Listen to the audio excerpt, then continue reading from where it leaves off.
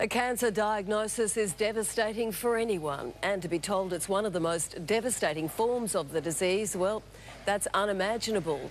But groundbreaking research into pancreatic cancer is being carried out in Sydney with some wonderful results. Here's Jessica Turner.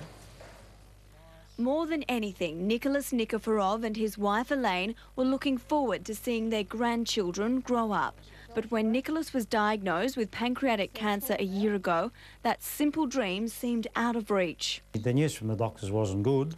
Uh, I had a tumour. We sort of said, you know, how long? And they said, um, our best research is that, you know, maybe three to five years. Pancreatic cancer is one of the most aggressive forms of the disease. It was very hard. Um, needless to say, his moods swung from hopeful to um, you know, why am I bothering? Sydney's Ingham Institute is researching how normal cells can help cancer cells spread, thanks to a grant which could save lives or improve quality of life for sufferers. Well, what we're hoping with this treatment is that it'll help either way.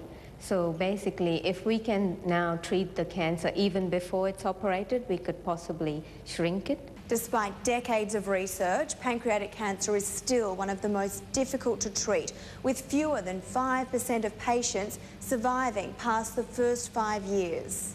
Nicholas and Elaine hope their story and those of high-profile sufferers will help raise awareness. Heard the Peter Harvey story by, as I said, I, we don't know the details, of course, but he seemed to go very quickly. Nicholas is recovering well after surgery.